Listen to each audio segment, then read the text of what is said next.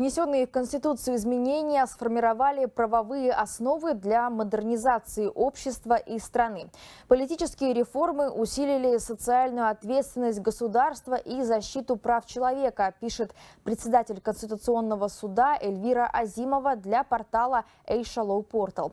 Предложенные президентом Касым Жомартом Тукаевым реформы направлены на укрепление государственных институтов и расширение прав граждан. В качестве примера приводится повышение роли парламента и участия граждан в процессах принятия решений. Что касается работы Конституционного суда, только за 8 месяцев туда поступило около 4 тысяч обращений.